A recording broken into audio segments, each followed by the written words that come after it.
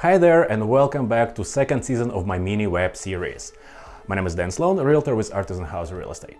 Well, holiday season is over and real estate market got to its to its uh, usual condition. Why am I saying that? Well, because right before the holidays we had extremely high amount of closed transactions and new listings that entered the market. But once holiday season had arrived, we can see a drastic drop in both transactions and new listings. Once we passed holiday season, market got back to its usual pace high amount of new listings and high amount of closed transactions. Now, where does it leave buyers and sellers?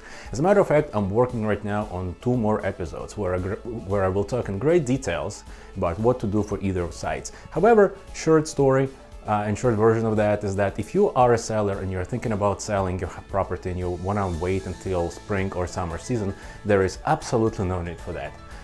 I can bring you a very good offer for your property tomorrow.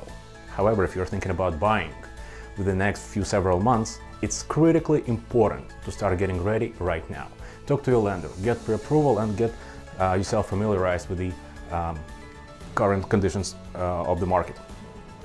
Well, if you have any questions about selling, buying, or need any sort of consultations, please let me know and I will gladly get back to you.